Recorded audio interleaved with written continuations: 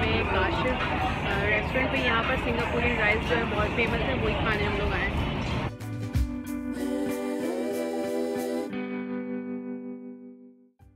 जी तो ये है काशिफ फ़ूड और ये बना हुआ है गुलशन चौरंगी पे। अगर आप नीपा की साइड से आएँगे तो आपको पड़ेगा लेफ़्ट साइड पे और अगर आप आएँगे मोती महल की साइड से तो आपको पड़ेगा राइट साइड पे। अच्छा जी, आपको पता तो है कोविड चल रहा है कोविड की वजह से जो है डाइनिंग बंद है। तो हम लोग ओपन एयर में बैठे हुए हैं। सामने जो है शाहजी स्कूल है, वहाँ पर भी इन्होंने जो है चेयर्स लगाई हुई हैं। यहाँ पर बॉयज़ बैठे हुए हैं, यहाँ अंदर की तरफ़ गर्ल्स बैठी हुई अच्छा जी, पहली दफ़ा हम लोग आए सिंगापुरियन राइस खाने के लिए काशी फ़ूड पे। और ये हैं कुछ इंतज़ार की घड़ियाँ। ऑर्डर देने के बाद बिल्कुल भी इंतज़ार नहीं होता फाइनली सिंगापुरियन राइस, हा हा हा।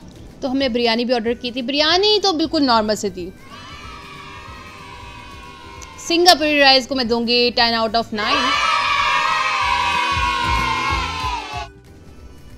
गर्मी बहुत थी और पंखे भी नहीं चल रहे थे यहाँ पर। लेकिन सिंगापुरी राइस बहुत मज़े के थे, मेरी फ्रेंड्स को भी बहुत पसंद आए। तो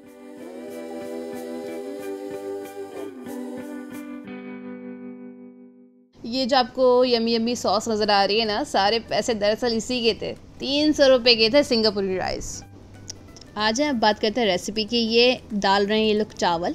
ज़ीरे के चावल हैं ये, ज़ीरे का तड़का लगा हुआ है। अब डालेंगे ये सॉस अपनी इनकी स्पेशल सॉस है। ये इन्होंने डाली। हम्म, मेरे मुँह में पानी आ रहा है। अब ये डाल रहे हैं। चिकन है इसके अंदर और मिक्स वेजिटेबल्स हैं और जो इसमें मसाला डलता है चिकन मसाला और सॉसेस वगैरह जो इसकी अब पर्सनल होती हैं इन्होंने वो बनाया हुआ है वो डाल रहे हैं। अब ये डाल रहे हैं नूडल्स और स्पैगटी हम्म, मुझे खानी है फिर से। ये डाल रहे हैं ये लोग गार्लिक और ये डाल रहे हैं अनियन भी है, इसमें गार्लिक भी है। सो यम्मी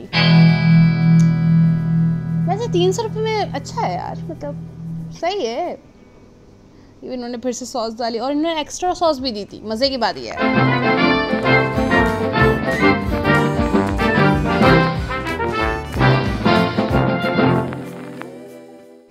अगर आप यूनिवर्सिटी कॉलेज में अगर आपका जल्दी ऑफ़ हो जाता है या आपको क्रेविंग हो रही हो अच्छा कुछ खाने की या सिंगापुरी राइस खाने की तो आप ज़रूर जाएँ ट्राई करें। अच्छा है, तीन सौ रुपये ही तो हैं और कोई इतना ज़्यादा कॉस्टली भी नहीं है।